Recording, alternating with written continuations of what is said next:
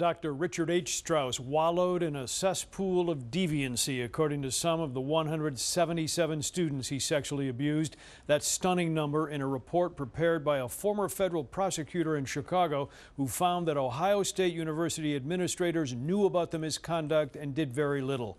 The I-Team tonight learning that Strauss was born in Chicago and went to medical school at University of Chicago, even though his deviant legacy is at Ohio State. Strauss was an unassuming sports physician at Ohio State University, little known except to the teenagers and young men he groped, molested, and assaulted. 177 male students molested and attacked during a span of almost two decades, according to this new investigation. Findings that Strauss sexually abused young men on campus from 1979 to 1997, essentially his entire career at Ohio State, during which he mainly treated athletes many tonight feeling vindicated. There's no question, no doubt at this point. If, if anybody had any doubt, it's gone. It's completely erased. Uh, and, and Ohio State's President Drake to come out today and say we failed to act, that's what we've been wanting all along. The investigation was led by T. Marcus Funk, best known for prosecuting top Chicago hoodlums in the Operation Family Secrets mob murder case. Funk's report on Strauss and the Ohio State abuse and misconduct covers 232 pages, offering a graphic glimpse of a rogue physician and the lives he wrecked. Athletes from at least 16 sports abused, misconduct known to OSU officials, according to the report, and largely ignored.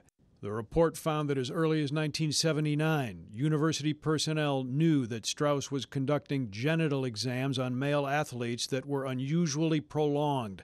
Despite the persistent seriousness and regularity of such complaints, no meaningful action was taken by the university until January 1996.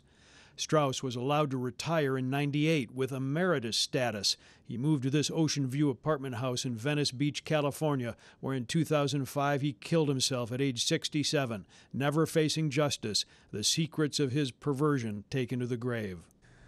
Ohio State's president tonight admitting the university failed to prevent the abuse and says the report has shaken them to their core. Oddly, before training in Chicago, Strauss received his undergraduate degree from Michigan State University, home of the nation's worst ever doctor molester, Larry Nassar.